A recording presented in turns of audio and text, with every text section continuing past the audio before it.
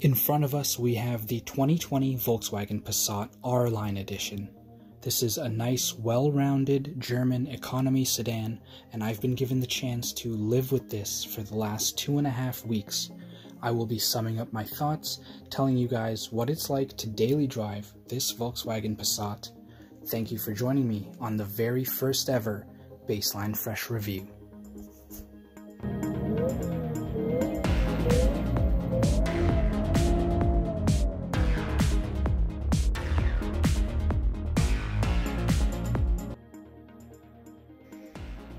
On the exterior of this Passat R-Line, we have this nice white paintwork.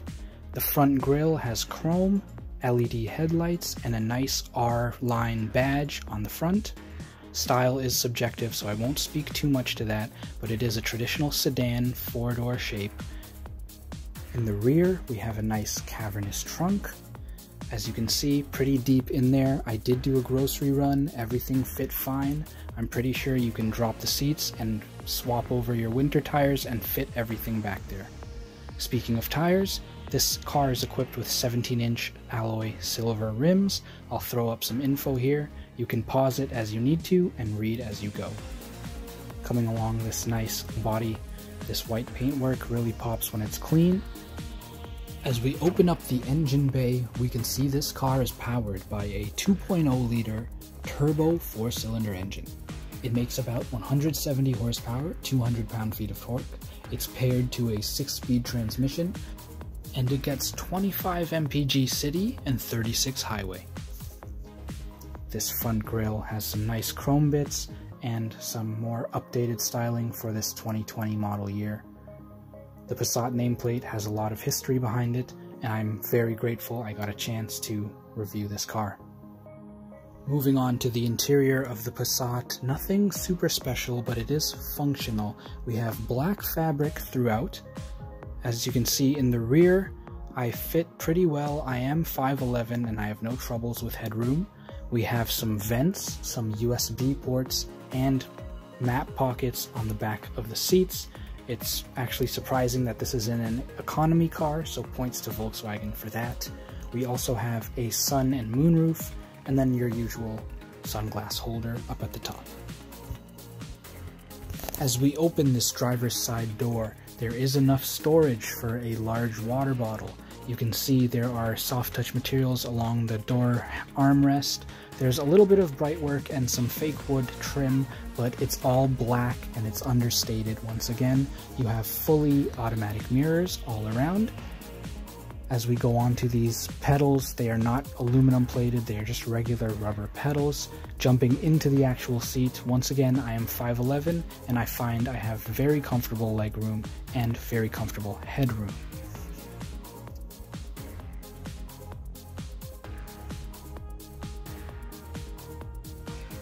Thanks for watching. If you like this content, please remember to leave a like and subscribe. This is Bassline Fresh.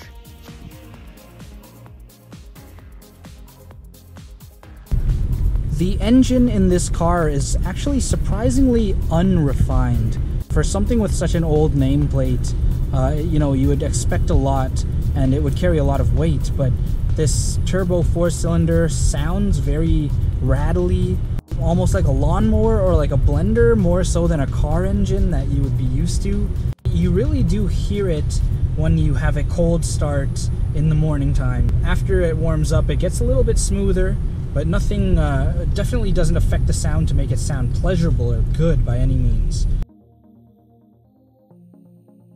Steering input is, as I said earlier, light but very easy to use. There's not much feedback from the wheels into the steering. Obviously, that's up to personal preference, but I am not really a fan of driving setups like that. I want to know uh, and feel communication between me and my car. Um, to give you an example, earlier in the week when we had icier conditions, I had no idea the grip levels or any of the feedback from the road uh, that I was getting from the wheels.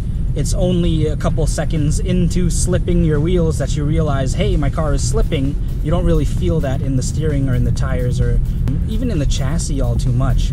And um, while that might make for, you know, a smoother feeling ride when you're just going about your business in city driving, when you're looking for communication in other aspects of that uh, experience, you don't really get it. Seats are very comfortable. You're driving with this on the highway or on a long road trip, they do not give me any sort of discomfort. This R-Line, the driver's side comes equipped with fully automated seats, electric power adjustment, there's also lumbar support. The passenger, however, does have a regular manual gear. Uh, you can pull on a small little plastic piece and adjust your forward and back that way. Visibility from the Volkswagen Passat is great. Lots of glass in here. The A-pillars are not very thick, so you can see they're not really blind, you know, there are no blind spots in that regard. Rear visibility is good. Uh, it's even if it wasn't equipped with blind spot monitoring, because there's so much glass in here, you can see a lot through your rear view mirror. You can see a lot when you turn your body and look through your uh, back mirrors and your rear mirror. So overall, a very nice spot to uh, to be in for long drives. The gauges are very clear. In the center gauge here, we have a small little digital display with two analog gauges on either side of it.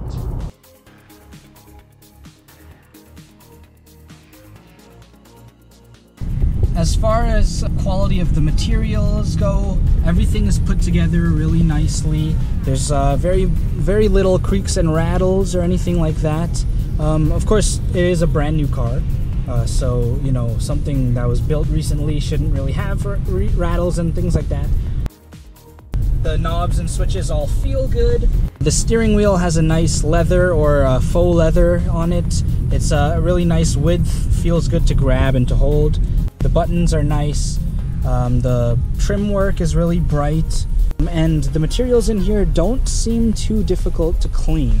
Of course, originally being a detailing channel, that is one of the things I look at. You know, some of the hard plastics in here, I will give a pass because it's really easy to clean.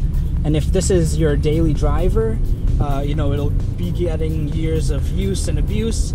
Obviously, it'll get dirty over time, but having something that's nicer to clean and uh, easy in that regard is a big benefit. The dash materials are softer, well put together. The nice design of the straight cut uh, vents here look really good.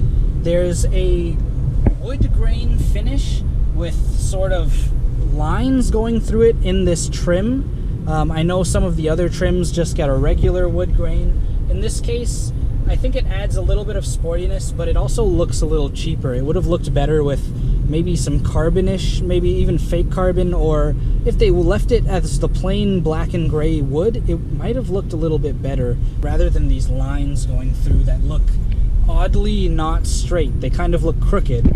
Um, as for the door work, fairly plain. The materials used, once again, nice soft touch around your armrest area and the top padding of the door.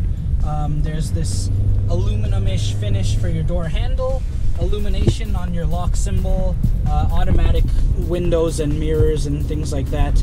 Feels nice.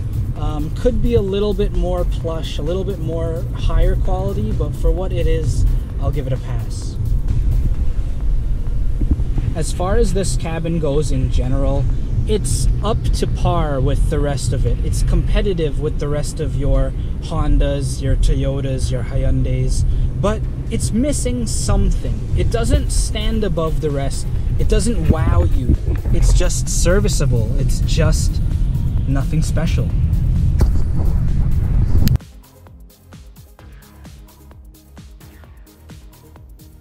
So, after living with this car for two and a half weeks and trying to extract everything I could from it, here's what I think. It's a perfectly adequate sedan in every way possible. It's just above average without really being super exciting. It gets the job done, and if you're the type of person that just wants to get from point A to point B reliably with no worries and a pretty quiet ride, then this is the car for you. Volkswagen has created something with a long standing name, and they know they have to deliver something reliable. They've done that here, and while it might not be full of passion or excitement, still has enough to offer to be somewhat competitive in the modern sedan scene. It might not be something that I would buy myself, but I wouldn't be afraid to tell someone, hey, go test drive that and see if it works for you.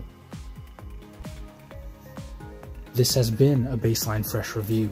If you have a car that you'd like me to detail or review in the London, Ontario area, please don't be afraid to reach out on Google Maps or Gmail. If you like this content, please leave a like and subscribe. New videos every Friday. This is AJ Supal and Bassline Fresh.